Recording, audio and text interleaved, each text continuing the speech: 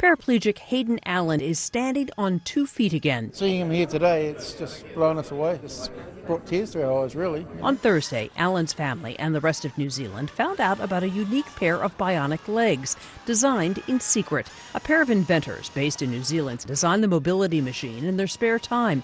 It took seven years and $7.2 million of government grants and venture capital to see Allen walk across the room and shake hands with New Zealand Prime Minister John Key.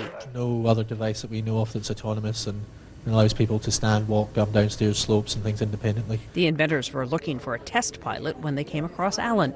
He was paralyzed from the chest down after a motorcycle accident five years ago. A bit of a daredevil on motorbikes, and um, they brought me in, and I just said I wanted to be part of it. I, I couldn't, I couldn't walk away from something like that or roll away from that. The bionic legs weigh 84 pounds and have to be made to measure for the user. The first pair sold is expected to go for around $150,000, a small price to pay to get back on your feet. Diane Kepley, The Associated Press.